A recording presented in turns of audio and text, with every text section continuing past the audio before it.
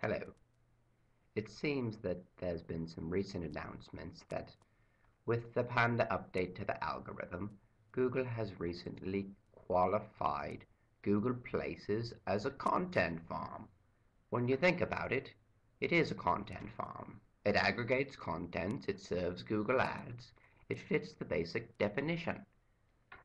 But why would Google block its own property from the index? Marissa Mayer is outraged. She's even threatened to go to Bing.